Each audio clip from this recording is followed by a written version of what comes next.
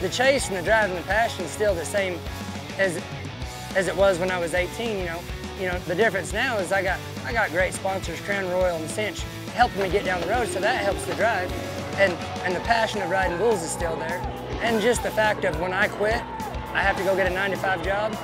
I'm still not old enough for one of those. You know, when you get bucked off as much as I do, you just get used to it. So what are you gonna? If if I got mad every time I got bucked off, they'd have had me in a crazy home a long time ago, because I get bucked off a lot. So, you know, it's more it's more exciting when I stay on than when I get bucked off, because getting bucked off is getting pretty regular for me.